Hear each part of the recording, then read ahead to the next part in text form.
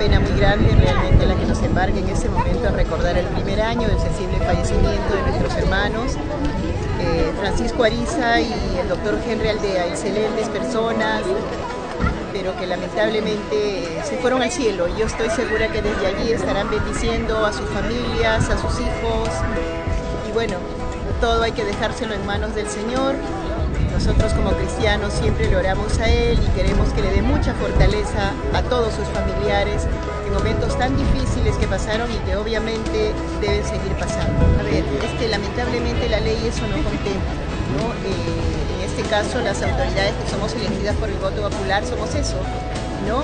Pasamos por las instituciones, obviamente eh, fin es el servicio a la comunidad y como tal servimos hasta el último de nuestros días en este caso Panchito sirvió hasta el último de sus días, el Señor lo tenga en su gloria. Al punto, noticias.